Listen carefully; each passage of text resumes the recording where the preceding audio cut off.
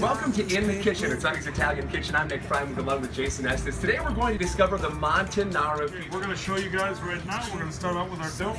Jim here is going to roll it out. These get hand stretched. You'll notice how elastic uh, that dough is. It's real easy to stretch. He's tossing that in semolina flour. So, and uh, All right, Jason, what was that? There was a little secret there. You put a little hole in the middle. What's the secret? yeah, he's got to do that so uh, when he puts it in the oil, it, it, it won't uh, blow here. So this is a deep, just about to do. We're gonna flip it onto its side. pretty unique.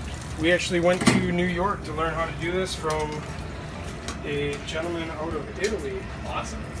And there are two in New York, Jay, Yep. and one in Torque One County. Nothing in Chicago even. The tomatoes, though. Jay.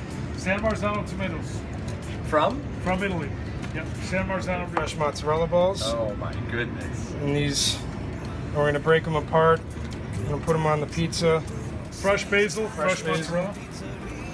Now we're gonna just break it up. We're gonna put a generous amount on because it gives that sweet goodness. We're gonna take it over here to the wood fire oven. Make sure that our flame is nice. Now we're gonna set it right in. From 638 to 700, that's a typical Yep. range. Yep, we do everything. We don't buy the wood. We don't have it dropped off.